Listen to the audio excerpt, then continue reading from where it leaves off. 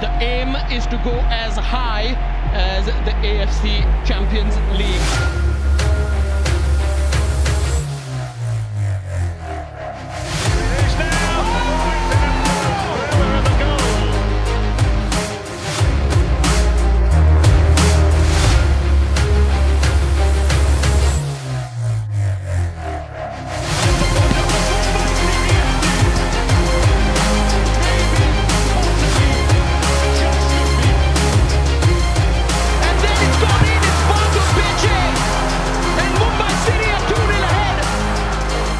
Congratulations to Mumbai City FC for what's been a fantastic campaign and for qualifying to the group stages of the AFC Champions League.